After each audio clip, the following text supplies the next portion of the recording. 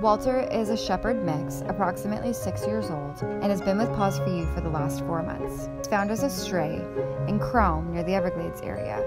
He had to have surgery on his eyelids, and he also came to us with a really bad ear infection. He has made some friends around the retreat, although he can be selective with certain dogs. He would do best in a home with older children, and one that is active and ready to take him on lots of walks.